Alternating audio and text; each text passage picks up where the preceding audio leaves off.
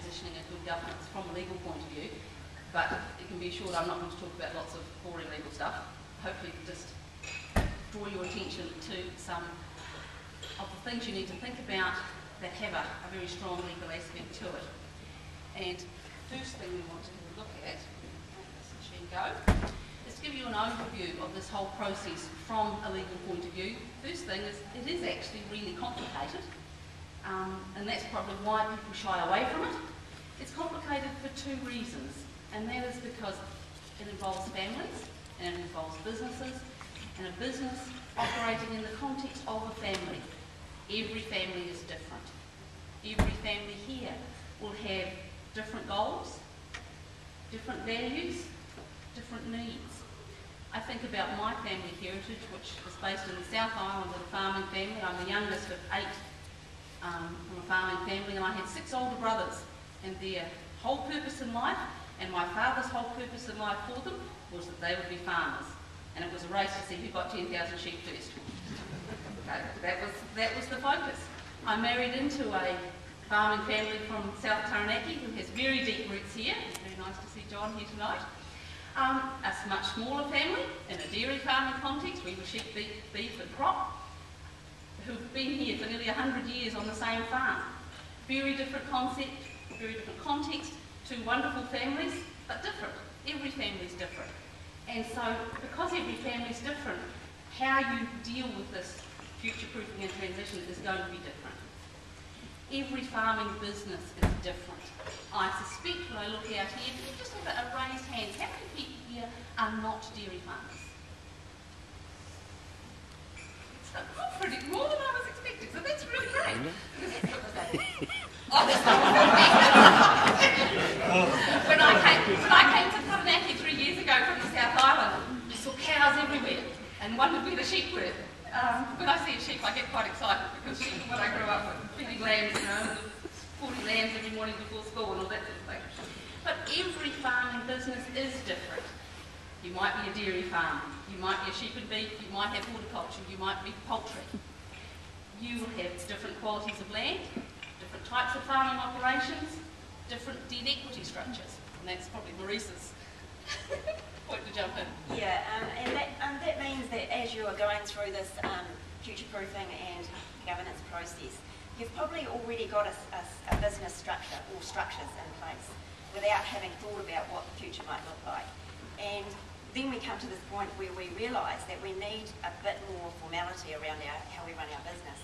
And that's likely to involve at some point a bit of restructuring uh, of, of what you've got in place. So as a, for example, it's not uncommon, and Trevor will talk about this, you know, you'll, you might have a company and a trust and a partnership, and as you grow, you start, oh, I've got another company, and then another company, and oh, maybe my son's got a trust, and suddenly there's a whole complicated structure that we need to review um, when we're talking about future-proofing, because it needs to be rationalised so that we can get the best outcomes for everybody. And I don't mean tax outcomes, I mean everything. Okay, our second point up there is that it's very important, and it is. It's very important for two reasons. First reason is that you need to protect your family relationships. And Maurice has, has already alluded to this to some extent. Your business activities must not be allowed to destroy your family relationships. And I think everyone here probably knows of a farming family where those two things have got messed up with very sad outcomes. Um, and it, it, shouldn't be, and it, it is really sad. So this, what we're talking about tonight, is really important for protecting your family relationships. It's also very important for protecting the viability of your farming business. Sometimes things happen in families that really mess businesses up because someone leaves the family and takes half the business with them, those sorts of things. So it is tremendously important both for your family and for your farming business. So having told you it's complicated and it's really important, and sort of, you know, the scary stuff, but there is a way through this. Um, Maurice has alluded to much of it and I'll talk about it a little bit more. It's about planning and it's about getting competent, relevant professional advice. And we'll just move along a little bit to talk about that, the complexity and the complicated nature of things and the sort of goals that we need to be thinking about. There are three key goals that we need to think about in this whole process. The first one is to ensure the financial and emotional security of the farming parents. And I can see by looking at the group here, there are a lot of farming parents here and there are some farming succeeding children here, I'm sure. But you've built up your business and your farm and your family. You want the freedom to enjoy life during and after farming, imagine. You want some capital for maybe for new off-farm ventures. When you do move off the farm or aren't quite as busy on the farm, you might like to travel a little bit. You want some certainty that you can um, retire with financial security and comfort. And you've earned it, absolutely. The second key complexity and goal that ha- absolutely has to be achieved is a flexible and a resilient plan that allows succeed, a succeeding child or children to come into your farming business and become part of it and eventually to own it and not to have to wait until you drop dead and the whole family has a fight over a will and maybe nobody gets a farm, even though they've worked on it most of their lives. So it's really, really important that it's there um, so that personal relationships of, of succeeding children are, are clearly divided so that the, the, the plan allows them to come into the business without messing up the family relationships. And the third key goal is that there's got to be fairness for non-farming children. Many of you, I'm sure, have children who will work on your farm, but you probably also have children who will never work on your farm. Maybe they don't want to, maybe there's not enough farm for everybody, but for whatever reason, we all have non-farming children. I was a non-farming child in my family. There were six who were farmers and two of us who weren't. But everyone else was involved in farming. There needs to be fairness for them too. That might involve extra education, it might involve helping them buy their first home, it might involve some things that we don't always plan and expect, and such things as children who need special care and provision. Know, sometimes children arrive in our families that need very special care. We need to be able to provide for them, and whatever plan we have needs to be able to do that. So, we, we know that it's complex, the key sort of risks that, that are involved are both personal and business risks. From a personal point of view, the family dynamic, and we've mentioned that, and Maurice has too. You know, sibling rivalries. I grew up watching my many older brothers, much older brothers, Paul and Mick are over the dinner table every night as we argued farming things, and my father would want to do it his way, and they would all be, you know, 18 to 25 and wanting to do it their way, and was my farm thinks that. There was a queue, basically. The youngest brother was told, go be a school teacher because you're in the queue. There's five ahead of you. Um, it was very, very real, and I remember that vividly as a child. There's also different cultures that come into a family, and Trevor may allude to this, and I know he has when he's spoken, um, I've heard him speak before. You know, your, your succeeding son or daughter marries, and they bring in their partner. And their partner comes from a different farming family with a different culture, or they might not come from a farming family at all. And that can be hard as two families blend and try and work together to run a business and still be a family. And so good planning allows flexibility to make those sorts of things work. And I know Trevor has talked about how they've done that um, on other occasions in his family, so I'm hoping he might um, elaborate today as well.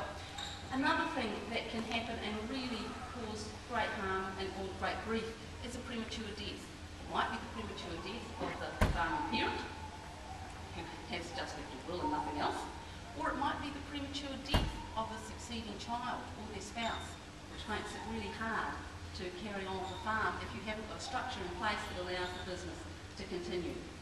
Then, of course, there's the risk of relationship breakups, and we know the statistics in New Zealand aren't very good.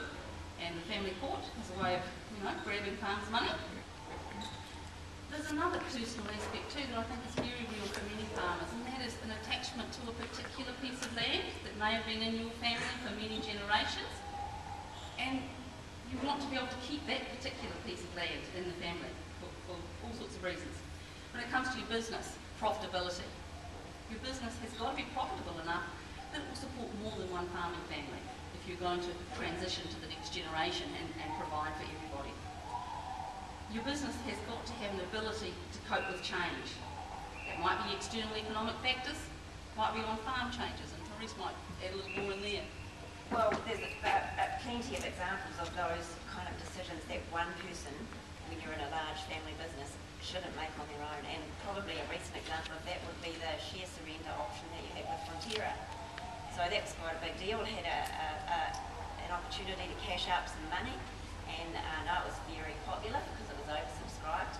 But I wonder how many people actually sat round and discussed that decision in, in their family business with everybody to make sure that they felt comfortable, would have been varying views about what to do with that money and whether it was the right thing to do. Um, who you employ as your advisors might be another example. Do you want to change banks? Do you want to change which company you supply? Um, all of those things are actually quite big strategic decisions.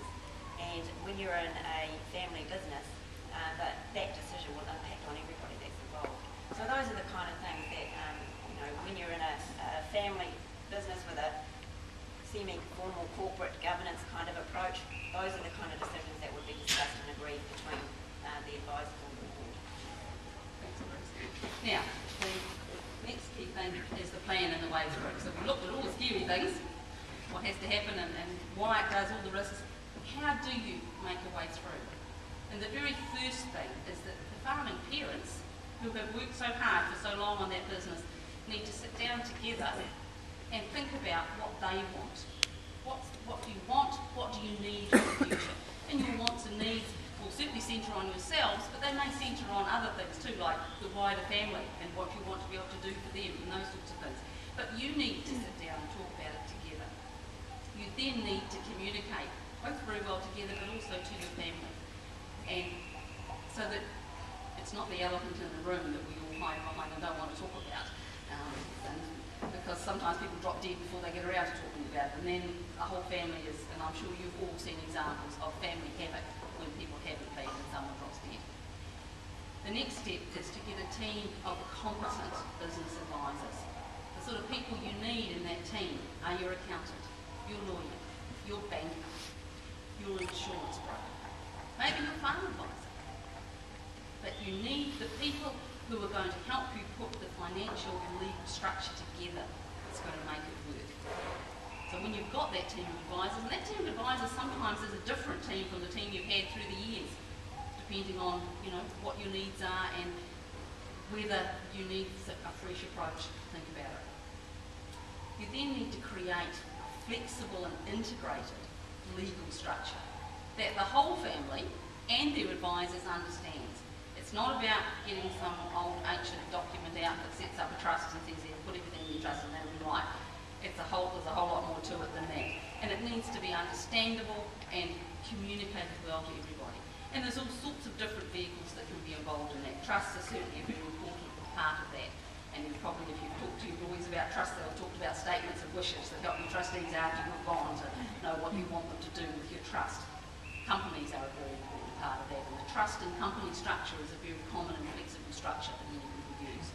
If you've got a company, you need a constitution and you need a shareholders agreement that deals with the private things that you agree amongst your family will, will be how things will work. A shareholders agreement that allows people to actually leave the business if they want to. If your succeeding son or daughter comes onto the farm and 15 years later says, oh, actually, mum and dad, I don't think I want to be a farmer anymore, I want to do something else. How do you deal with that? That's the sort of thing that needs to be agreed and documented sensibly. Limited partnerships are another option. I think Kenneth and Rachel might talk about that. Um, and extraordinary partnerships. You need to update your will. People have wills and think, I've got a will, I'm fine. I haven't updated it for 30 years. It's probably not much use and actually it's source of great trouble. You need to have enduring powers of attorney. Suddenly you become ill and can't function, you have a stroke, you fall off track, bang your head, whatever. Those sorts of things need to be in place. Once you've got that structure, you then move on to the good governance that Maurice has been talking about and use that structure with good governance um, practices and decision making. You need also to include in that some good and appropriate insurance. What if your succeeding son or daughter has a serious accident and can't farm anymore? Who's going to actually do the day to day? Who's going to pay for someone to do the day to day? All those sorts of things need to be dealt with. And you need to, as Maurice has already said, regularly review your plan because the plan is going to be a flexible plan that can change and is very likely going to need to change. So regularly sitting down with team advisors to say, well, does it still work? Do we need to tweak it? What do we need to do? So there is a process. So it is complicated. Um, and it is really important, but there is a way through it. And that way through is about planning and communication and good advice and flexible integrated structures that actually move, that aren't just old bits of paper in the back door that we set up once upon a time and then we forgot about and Hope that they worked. It needs to be much better than that. Thank you very much.